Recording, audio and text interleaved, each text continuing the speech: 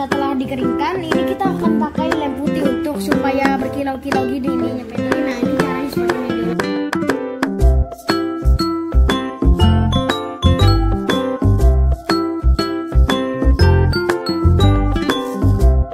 Assalamualaikum.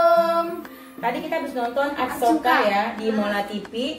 Nah, salah satu episodenya tuh di season 1 episode 12 itu tentang tracer map. Nah, kita mau bikin peta harta karun nih. Duh, keren banget. Tadi kita seru banget nontonnya. Iya, Jadi kita recreate videonya. Jadi bikin apa dulu nah Nah, pertama-tama? kita bikin pertama-tama itu treasure map ya nih. Hmm, kita bikin dulu petanya sendiri dan apa aja sih bahan-bahannya? Nah, kita lihat dulu ya.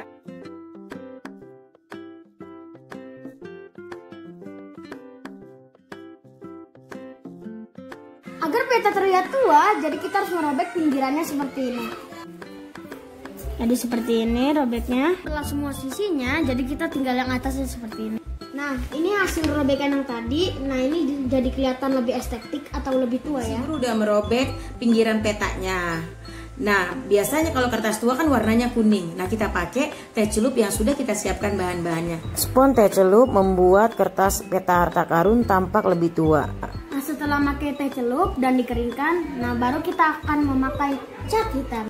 Nah, ini teh teh celup tadi bisa jadikan spon untuk cat warna hitam ini. Nah, ini kita ini dulu. Nah, terusnya diginiin. Setelah pinggiran ini dihitamkan, nah ini kita keringkan dulu. Kita keringkan. Nah, setelah dikeringkan, ini kita akan pakai lem putih untuk supaya berkilau-kilau gini ininya. Nah, ini caranya seperti ini diolesin aja, guys. Setelah olesin lem putihnya, nah ini kita akan nempelin glitter di harta karunnya seperti ini. Kita tempelin glitter, kita ambil lagi, tempelin glitter. Eh, kita kita jadi, nah jadi deh. Ini dia treasure map. Nah ini hasil treasure map yang tadi kita buat dan jangan lupa ikutin langkah-langkah yang tadi. Kita udah selesai bikin videonya. Jangan lupa kalian kudu follow Mola TV untuk info lebih lanjut. Eh, udah dulu, sampai jumpa. Dah.